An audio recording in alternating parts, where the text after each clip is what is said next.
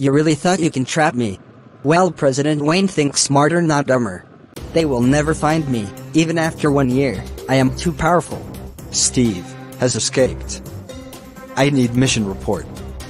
Now. Yes, sir. But may I ask something? Yes, go ahead. How did he escape? That's the thing. We don't know how he escaped. We will need to report this to the police, as well as call the news guy. We need to figure out how he knows all of this. Yes, sir. Right away. Do you know why I called you here, Paul? I just have a couple of questions, if that's alright with you. Sure, go ahead, I don't see why not.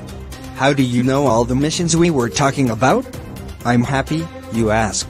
You see, we actually have a system which immediately reminds us when you have a big problem. That's how we know. You're not allowed to have that. May I see it?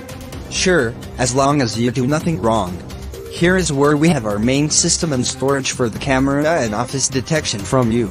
Well, how do you know about it? The wire in the system. Alright, weird. Anyways, goodbye. Always a pleasure to meet you.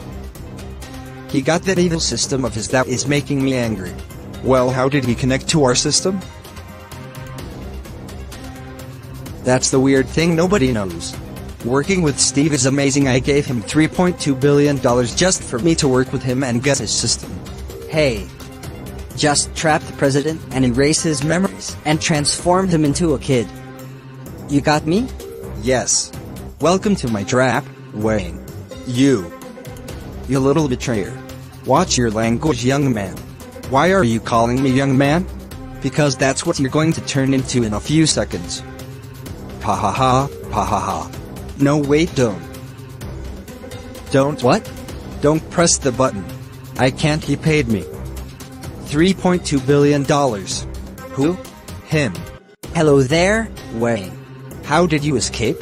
Why should I tell you? I'm the president with else. Oh no you're not, Paul is. Paul, the news guy? Yes, Paul the news guy. Now goodbye or wait, I can just ban you from the country, simple. Please I need to feed my family.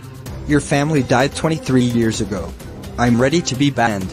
Bye, I'm also allowing social media. Dear everyone all social media platforms are now back in the US we hope you enjoy thanks to my two colleagues Mr. Hernandez and Steve now you may enjoy your life with social media and YouTube you do not need to go to anyone's building thank you goodbye and thanks for coming.